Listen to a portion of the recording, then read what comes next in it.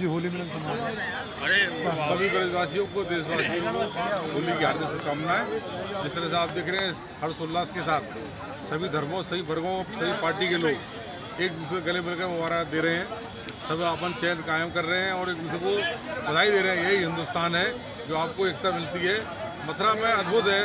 होली और ईद एक साथ मनाई जाती है और एक भाईचारे का पैगाम दिया जाता है। तो मेरी पार्टी की तरफ़ से, समाजवादी परिवार की तरफ़ से सभी देशवासियों को होली की बहुत बहुत शुभकामनाएँ।